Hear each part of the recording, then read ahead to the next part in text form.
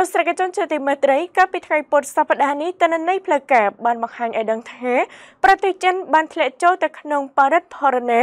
ខណៈការស្ទុះងើបសេដ្ឋកិច្ចឡើងវិញក្រោយវិបត្តិ COVID-19 មានការថមថយនេះបើតាមការចេញផ្សាយដោយទីភ្នាក់ងារសារព័ត៌មាន AFP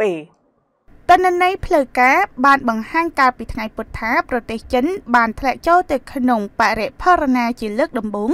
នៅក្នុងរយៈពេលជាង2ឆ្នាំនៅក្នុងខែកក្កដាដោយសារតែការធ្លាក់ចុះការចំណាយនៅក្នុងស្រុក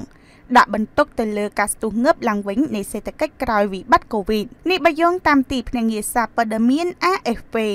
បរិផរណានេះបានកើតឡើងមួយថ្ងៃបន្ទាប់ពីមានព័ត៌មានថាប្រទេសចិនបានទទួលរងការធ្លាក់ចុះការនាំចេញខ្លាំងបំផុតគិតចាប់តាំងពីថ្ងៃដំបូងនៃជំងឺរាតត្បាតខណៈការនាំចូលបានធ្លាក់ចុះសារជាថ្មីដោយសារតែតម្រូវការនៅក្នុងស្រុកនិងពិភពលោកថយចុះទីភ្នាក់ងារសាព័ត៌មាន AFP បានរាយការណ៍ថា សន្ទុះតម្លៃទំនិញប្រើប្រាស់ដែលចេញផ្សាយដោយការិយាល័យស្ថិតិជាតិ បានធ្លាក់ចុះ0.3%នៅក្នុងខែកក្កដាបើទោះបីជាសន្ទុះតម្លៃទំនិញប្រើប្រាស់មានអត្រាល្អជាងការព្យាករណ៍ដែលថានឹងមានការធ្លាក់ចុះ0.4%នៅក្នុងការស្ទង់មតិដោយទីភ្នាក់ងារសារព័ត៌មាន Bloomberg ក៏ដោយក៏បរិផរណានេះបានបង្ហាញអំពីការធ្លាក់ចុះជាលើកដំបូងគិតចាប់តាំងពីដើមឆ្នាំ2021មក ហើយនឹងបន្ថែមសម្ពាធទៅលើអាញាធរចិន នៅក្នុងការចាត់វិធានការគ្រប់គ្រងបន្ថែមទៅដល់សេដ្ឋកិច្ចប រិផរណាសំដៅទៅលើការធ្លាក់ចុះតម្លៃទំនិញនិងសេវាកម្មដែលការធ្លាក់ចុះនេះបណ្ដាលមកពីកត្តាមួយចំនួនរួមទាំងការធ្លាក់ចុះការប្រើប្រាស់ផងដែរបើទោះបីជាតម្លៃទំនិញកាន់តែថោកអាចមានប្រយោជន៍សម្រាប់កម្លាំងទិញក៏ដោយក៏ការធ្លាក់ចុះតម្លៃទំនិញបង្កការគំរាមកំហែង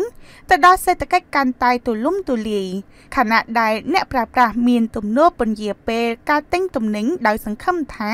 នឹងមានការធ្លាក់ចុះតម្លៃបន្ថែមទៀត។នៅពេលនោះកង្វះតម្រូវការបង្ខំឲ្យក្រុមហ៊ុនកាត់បន្ថយផលិតកម្មឈប់ជួលបុគ្គលិកឬជំរុះបុគ្គលិកនិងសុកចិត្តលក់ទំនិញបញ្ចុះតម្លៃ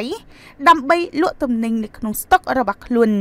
ដែលប៉ះពាល់ទៅដល់ប្រាក់ចំណេញខណៈការចំណាយនៅដដែល។ ប្រទេសចិនបានជួបប្រទះបរិផរណារយៈពេលខ្លីនៅចុងឆ្នាំ2020និងនៅដើមឆ្នាំ2021ដោយសារតែការធ្លាក់ចុះថ្លៃសាច់ជ្រូកដែលជាសាច់ដែលប្រើប្រាស់យ៉ាងទូលំទូលាយបំផុតនៅក្នុងប្រទេសចិនមុនពេលនោះរយៈពេលកើតមានបរិផរណាចុងក្រោយគឺនៅឆ្នាំ2009នេះបើយោងតាមទីភ្នាក់ងារសារព័ត៌មាន AFP